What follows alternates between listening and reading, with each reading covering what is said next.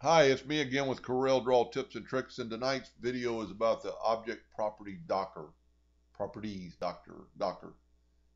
Anyway, if the customer sent you, and I, I very seldom use this, but I'm going to start using it more. Uh, customer sent you this text, and you're trying to match it up. I mean, that's we all do it. This is a text. It's a curve, and you can't find out what text it is, and they don't know what text it is so you try to match it up. So you, you write the word text and then you go up and your cursor down. But what has happened, it's, it's covered up our word we need to see.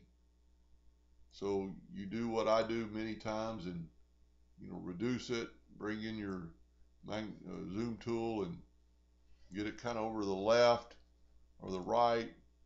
Do the same thing. But it's still kind of covering up that T.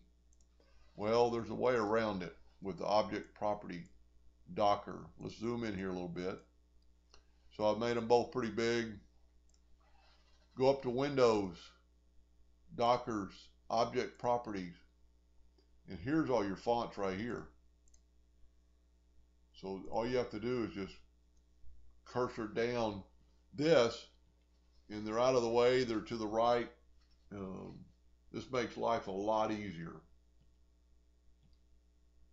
And there's a lot more things you can do with this um, Docker. I don't use it that much, but you could, you know, change the, the fill, change the outline.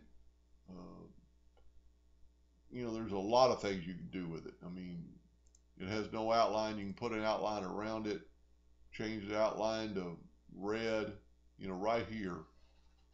Let's take the fill away.